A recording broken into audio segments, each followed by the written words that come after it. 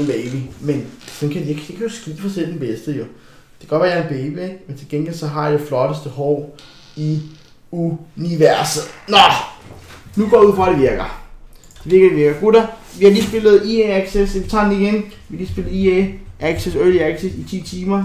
Vi har pakket for 130.000 øh, 130.000 øh, points. Så det er ret lækkert. Øhm, så det er faktisk perfekt. Og jeg har øh, Ramos, Kroos, to gange Kane, Sterling, øhm, øh, de der. Lourdes, Inform Nøjer, Kino til season og så videre, og så videre.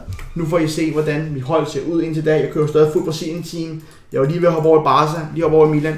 Vi kan jo stadig godt gøre det, men nu bliver vi her, gutter. Øh, fordi hvis jeg, hvis jeg først ændrer på holdet, jamen, så, så, øh, så, så, så, så, bliver, så, så, så stopper jeg ikke med det. Øh, det er lidt ærgerligt, at Brasilien ikke har nogen forsvars øh, centerback øh, icons, og det er lidt ærgerligt, at de ikke har nogen defensiv midtbane.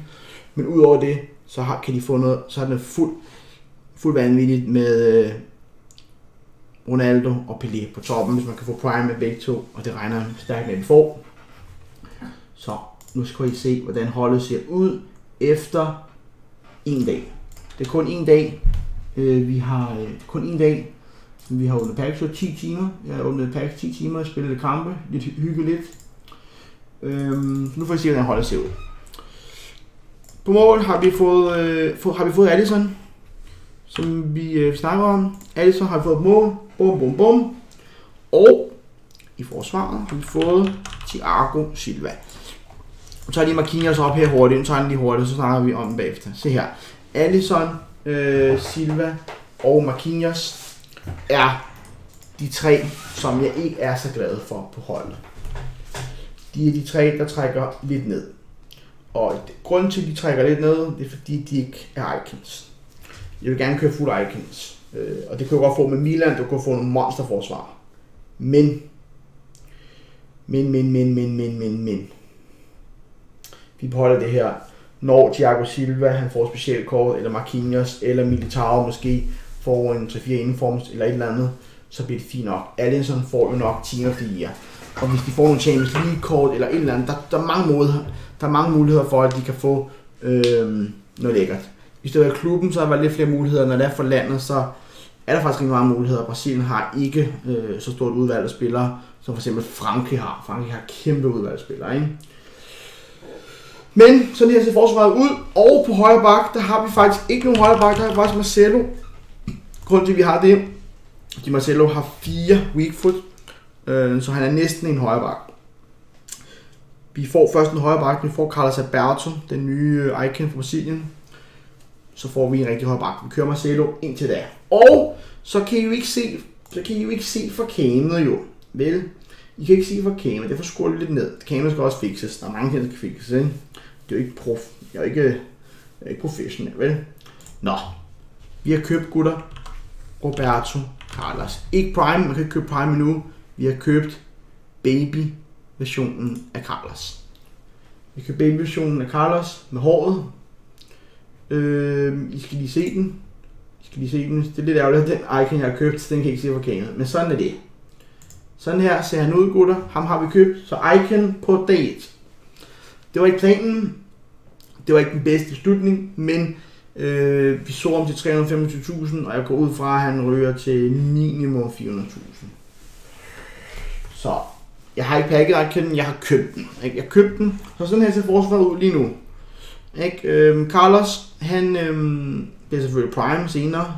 Jeg tror ikke, jeg køber øh, nummer 2 versionen, der er det vigtigt at få noget opgang i angrebet. Med angrebet, angrebet er det dårligste på min hold. Angrebet er faktisk ret skidt. Det får jeg se lige om lidt.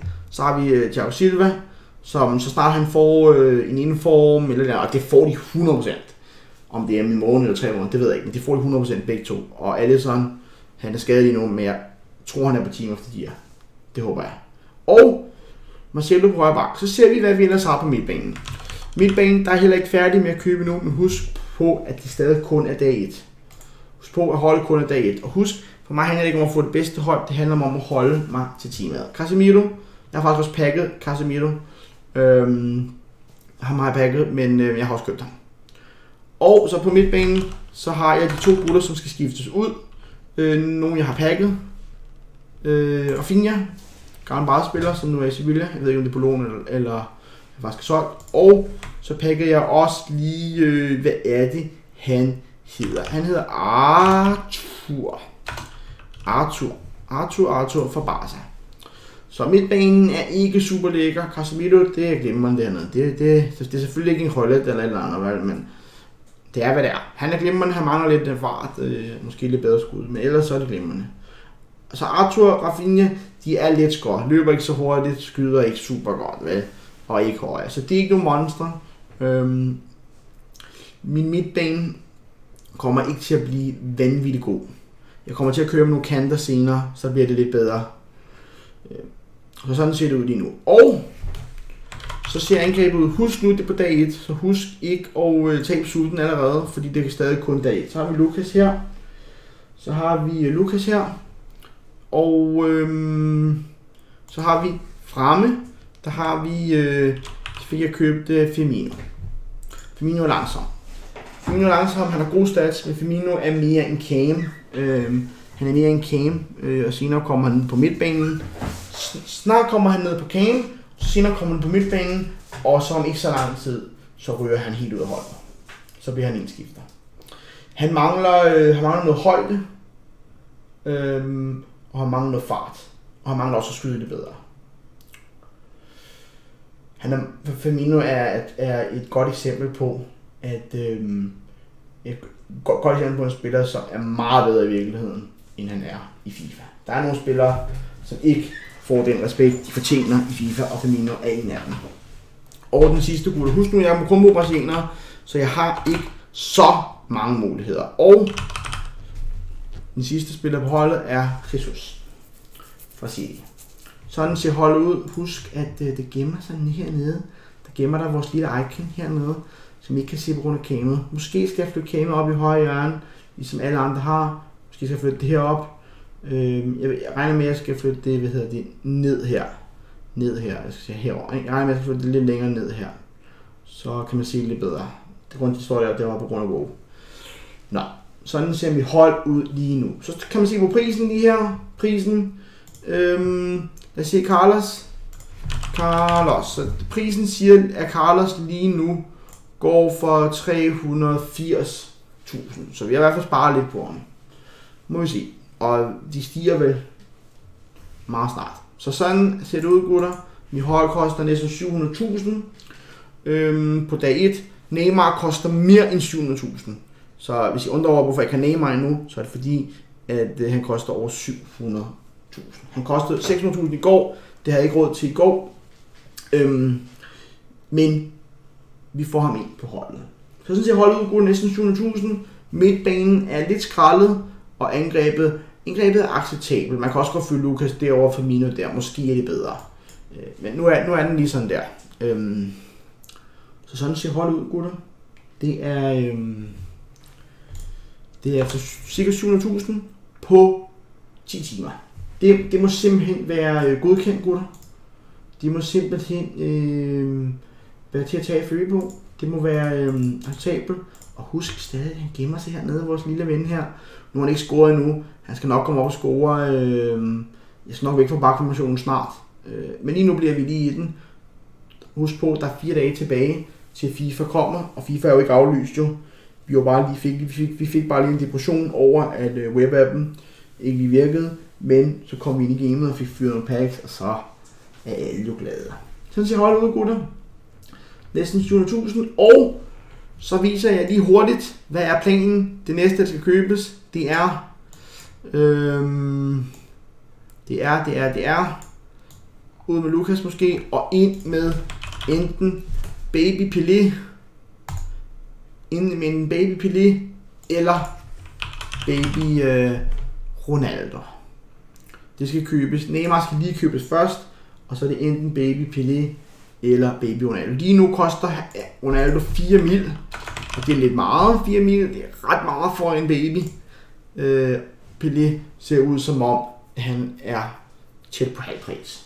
Så det kan godt være, at Pelé kommer først, hvis det er halv pris. Det kan godt være, at Pelé kommer først. Så kommer øh, Pelé ind, måske, lad os sige, øh, Pelé er inde her, sammen med øh, vores gode ven Neymar. Så Neymar han kommer til at miste lidt kemi. Øh, Neymar kommer til at miste lidt kemi. Det kan godt være, at vi rykker lige rundt øh, til en anden, anden, øh, anden information. Det kan godt være, får vi nogle kanter på og sådan noget. Men ellers, Neymar og Pili sammen på top, så ser det lige pludselig meget bedre ud. Øhm, hvis vi lige gemmer Pelé lidt, så vi lige får ham hurtigt væk. Øhm, så ud med Casemiro her, så siger vi lige, øh, lad os lige, lad os lige Lukas fremme, øh, måske i stedet for Jesus, han er lidt hurtigere. Så får vi en her, så bliver det meget bedre nu. Så siger vi, øh, hvad hedder han, hvad hedder han, hvad hedder han, hvad hedder han? Fabinho. Fabinho kommer ind her, bup, sammen med Alain. Sådan her, sådan her skulle holdet gerne se ud. Øhm, sådan her skulle holdet gerne se ud.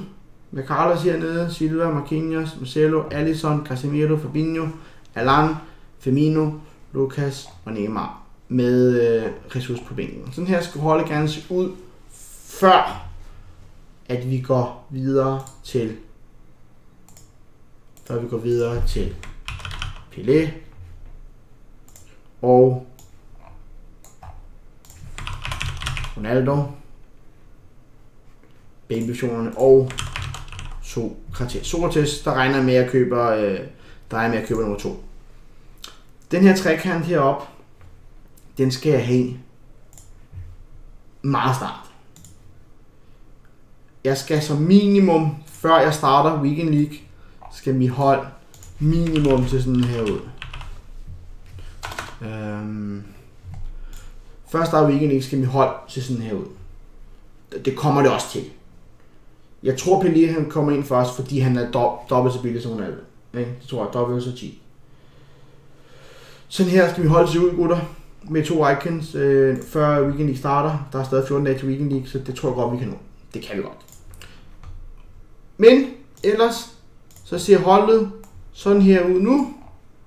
Og øh, så var det, hvad var det, han hedder, Lukas. Sådan her semihold ud nu, gutter, med selvfølgelig Carlos gennem, gennem os hernede. Sådan her ser holdet ud nu, gutter.